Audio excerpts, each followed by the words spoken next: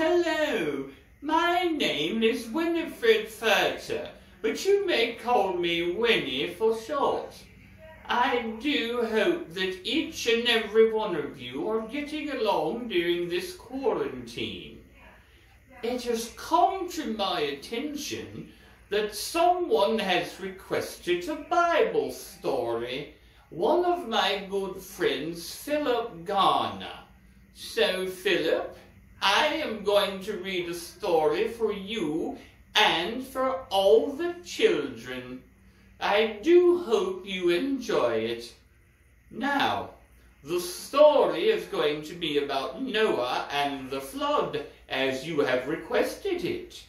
And my husband. Oh, say hello, dear. Oh, yes, yes, yes, hello. Yes, yes, dear. Frank Furter here. Oh, yes, Frank is behind the camera. And he's also going to do some magic with the editing and put the pictures from the story on the screen next to me. Isn't that wonderful? Oh, yes, dear, yes, well, quite wonderful, you know. All right, let's get on with our story. Now, as I said before, my husband Frank is going to put the pictures right over there next to me, and I am going to be reading from the book which is placed in front of me on another screen. Who knew that my husband working as a BBC correspondent would pay off? Oh, yeah, yes, yeah, you know, I, am very good at uh, electronic things, you know. Oh, I know, dear. So, this book is one that I really do like, and it is called Noah and the Great Flood. And it is by Bible for Children.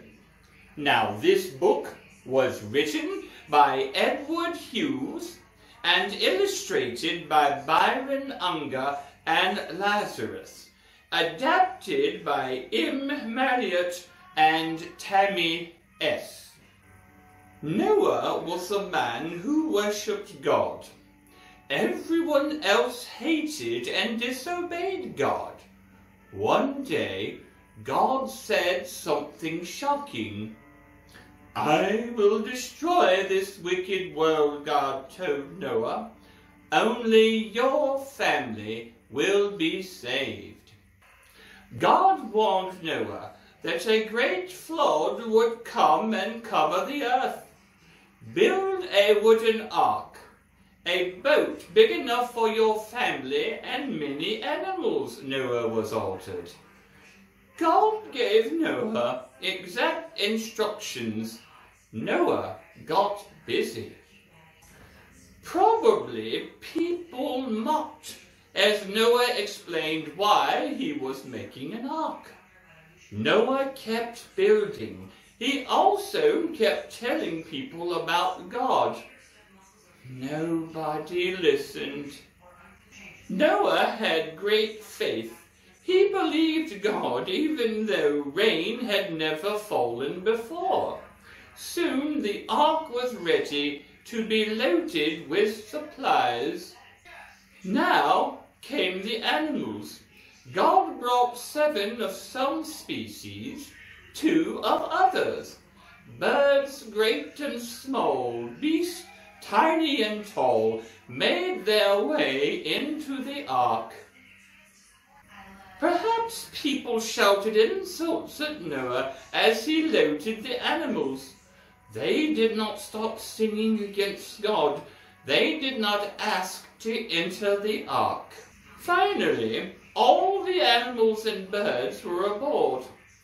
Come into the ark, God invited Noah, you and your family.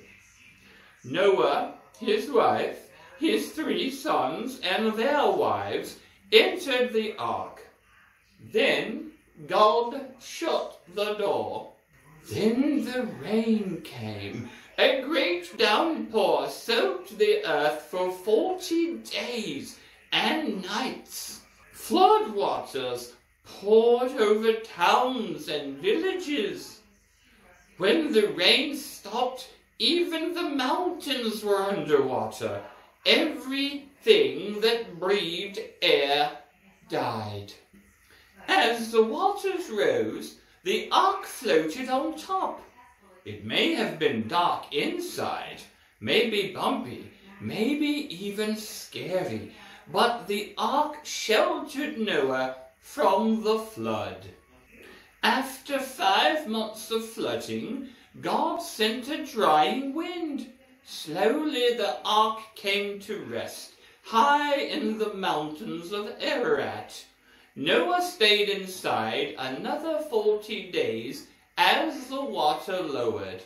Noah sent a raven and a dove out of the ark's open window. Not finding a dry, clean place to rest, the dove returned to Noah. A week later, Noah tried again. The dove came back with a new olive leaf in its beak. The next week, Noah knew the earth was dry because the dove did not return. God told Noah it was time to leave the ark. Together, Noah and his family unloaded the animals. How grateful Noah must have felt. He built an altar and worshipped God, who had saved him and his family from the awful flood. God gave Noah a wonderful promise. Never again would he send a flood to judge human sin. God gave a great reminder of his promise. The rainbow was the sign of God's promise. Noah and his family found new beginnings after the flood.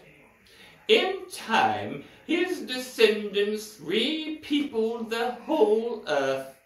All the nations of the world came from Noah and his children. Noah and the Great Flood is a story from God's Word, the Bible. It's found in Genesis 6 to 10. The entrance of your words gives light. Psalm 119, 130. The end. Oh, I hope you love that story, children. I'll be more than happy to read some more if you would like. And hopefully you enjoyed that story, Philip Garner. I do enjoy reading to children. And I wanted to give a special shout out to one Miss Mallory Martin.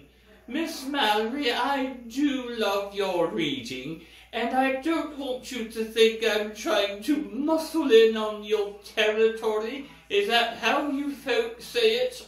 oh no, I'm just doing a request for a friend. But you do ever so lovely readings, Miss Mallory. I enjoy them thoroughly. Keep it up. Um, Frank, I do believe I'm done now. Let's turn the camera off. Oh, yes, yes, dear. I'll, I'll, I will shut it off. Goodbye.